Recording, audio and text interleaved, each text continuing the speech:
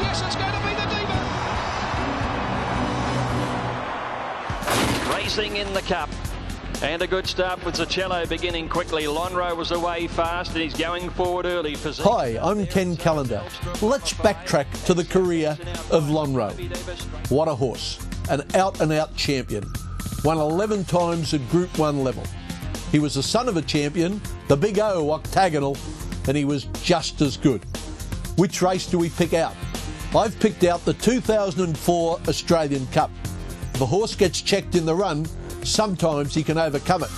If he gets knocked down twice in the home straight, he has to be very special to overcome it.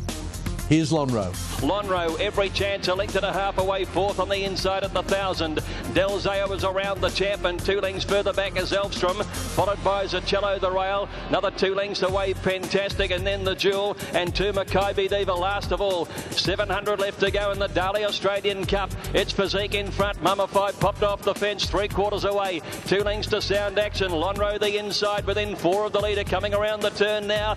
And then Delzao followed by Elvstroem. Zacello is hard ridden then fantastic. Makybe Diva, the jewel, dropped out last. Physique, the leader in the straight from Mummify. There's the gap coming for Lonhro. Sound Action tries to pocket him. Beadman in a bit of trouble trying to force through. He got checked, the champ, and Sound Action hit the front now from Mummify. Lonhro, the champion's in desperate trouble. Delzao's gone past him. 150 to go. He's got to the outside. Delzao in front. The crowd roaring. Go, Lonhro, go.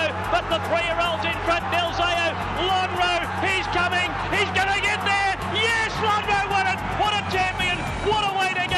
go. Lonhro, a champ in Sydney and Melbourne.